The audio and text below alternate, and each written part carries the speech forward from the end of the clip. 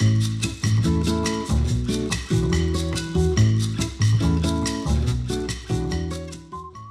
get the warhead and we hold the world ransom for one million dollars.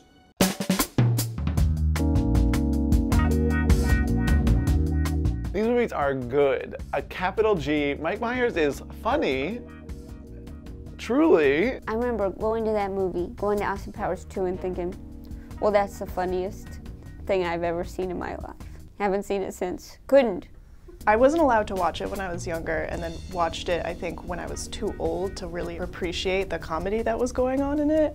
Austin Powers is essentially like James Bond if he was a fucking dork with dirty teeth. Honestly, Austin Powers is the most quotable movie franchise on the planet.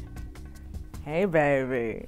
I'm Randy, baby. All the comics today, did, I mean, it's a, cl- everybody's doing groovy, baby, yeah. Yeah, your weird uncle quotes it, but it's good still. If you were in middle school around this era, 30% of the conversations you had were just quoting Austin Powers back and forth at each other. If someone is quoting Austin Powers to me today, I'm gonna think that there's something really wrong with them. Beyonce was in the last one. But that was a period where she was like, maybe I'll be an actress. Maybe I'll do this.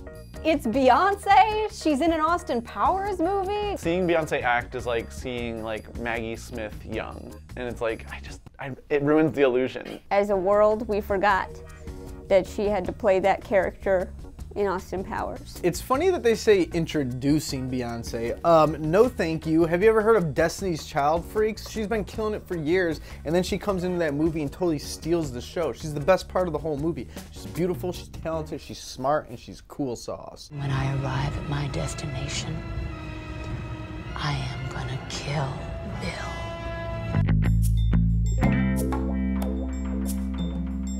I definitely had the poster in my dorm room right next to my Goodwill Hunting poster. These felt edgy when I was in high school because I was like, this is a lot.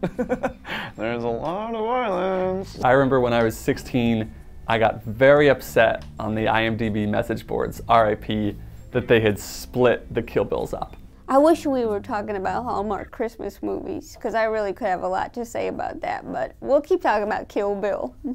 It's called Kill Bill, but it's not about Bill, okay? It's about women. So it's kind of like a little bit of like guidebook to the past of genre cinema in a way that's very cool. Where it's like red. These women, they are my Disney princesses. Fuck Cinderella. I want to be Black Mamba for Halloween, okay?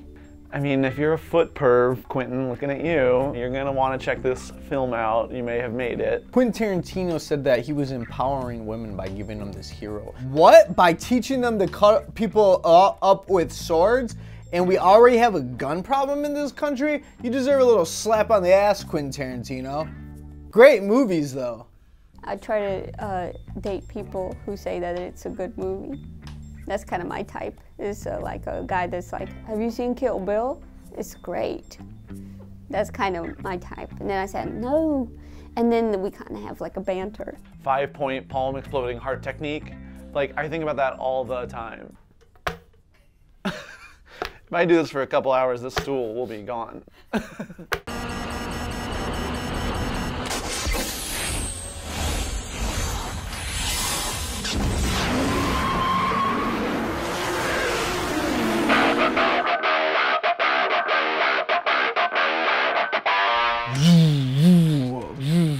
hey, hey, hey, man, let's drink some beers and make out with women. Yeah. Oh. Mm. Damn, dude, we went pretty fast back there. That's Fast and Furious. My understanding before the film was that it's mostly about stealing cars and then the cars drive fast. After the film, that was still my understanding of the film. I feel like it's interesting to watch The Fast and the Furious and go back and understand how much the franchise has changed. Did they ever think back when they're stealing nukes like, man, crazy that 15 years ago, the most important thing to me was drag racing on a Saturday night, and now Me and my buddies are the only people who can save the world. I saw this movie and I was like, driving apparently is really cool and fun. You know what? Maybe if you're 15, turning 16, you're about to learn how to drive, you can watch it as sort of like a lesson on how to not drive cars. And then I did drive a car. The first thing I did was back it into a ditch. If you're gonna drive, which is already reckless, you might as well drive fast and furious. I kind of do drive parade style, you know, like just kind of slowly for everyone to see, slow enough to wave as you drive by. In the trailer, she goes, This is yours, but if you win, you get her too. And then some girl goes, Ugh. So the guy gets that F2 girls, and that's his prize for racing a car. And some dude in the back of the theater just ejaculates all over the place. Come on, what kind of message are you trying to sh- give the youth? The prize should be a clean environment. I'm gonna alienate myself right now, but I don't know if I know anyone that likes that movie, and that's because I'm a coastal elite. A lot of Frances Ha fans are among, among my crew. I guess if there is somebody that likes both The Fast and the Furious and Frances Ha, will you write to me and tell me about yourself? I'd be very curious to know what kind of person is, is the middle of that Venn diagram.